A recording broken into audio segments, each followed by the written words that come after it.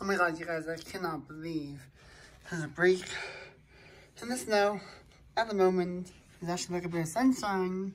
Yeah, it's there like, yes, we have that snow yeah, falling off these trees. And everything, yeah. But anyways. But about the snow, I think like, it's supposed to actually be in some point uh, in that case though, like again, again, but it's unknown. Anyways, just take it from there, and, uh, and yeah, we'll see what happens.